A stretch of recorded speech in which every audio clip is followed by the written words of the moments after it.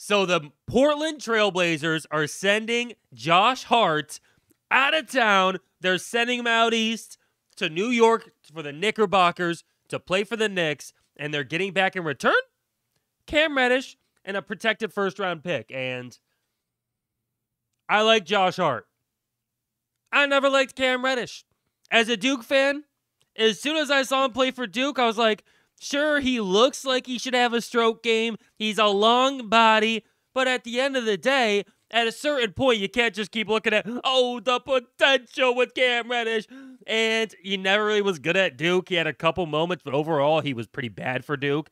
And in the NBA, he's gotten a chance with the Hawks and the Knicks, and he's never really been good in the NBA. So I like Josh Hart. He's probably he uh, I think leads the league in rebounding uh, for a dude at his size or shorter. He's at six foot four, getting you like eight rebounds a game. So I like Josh Hart, and I don't like Cam Reddish. That being said, I got to give the W to the Blazers on this one.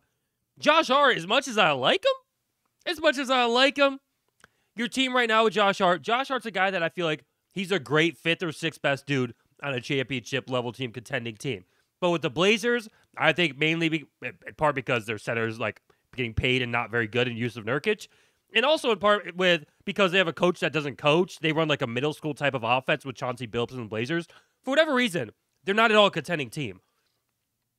So for you to trade a role player and get back even a protected first, any type of a first round pick from the New York Knicks, and a guy that I don't like, but I'll still acknowledge there is some type of potential in there in Cam Reddish, even though I don't think it's likely it comes through to be anywhere near what people think it is. I don't think he's shown himself to be a good player. There is some type of potential. So to get that in return for a guy that he's a role player on a team that really wasn't going anywhere, I got to give them the W on that. For the Knickerbockers, I- I'm just a little hesitant on giving up a first for him. You know, I mean, we saw right t- today the Timberwolves, they gave up D'Angelo Russell, and they got back three second round picks. Uh, I mean, I mean, you. I guess you would rather three second round picks than a protected first. You would rather give up a first than three three second round picks.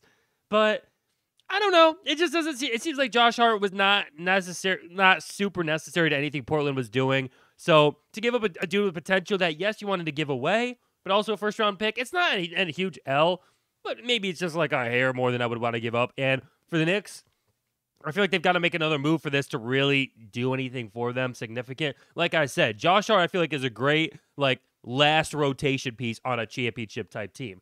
But the Knicks aren't on the precipice right now. I guess that's why I'm saying it's no for them. For a team like the Cavs, I feel like he's just he moves the needle a lot. For the Knicks, he's a good player, but like he's not going to start for you. He's not going to start over RJ. I don't think it really makes sense at the two. He's going to be a nice bench piece, but I just don't know how much he moves the needle for them. So I'm not going to give them the L, but I'm going to say, like, I don't love it unless they make another move that makes me feel like, okay, now this is a contending team, and he's going to be a great part of that. So I give a W to Blazers, and I'm like kind of in the middle for uh, the Knicks on this one. But let me know what y'all think. What are the Knicks thinking on this move? Are the Blazers going rebuild mode? Talk to me, y'all. Drop a comment, hit that like, and that subscribe. Please? Yes, sir.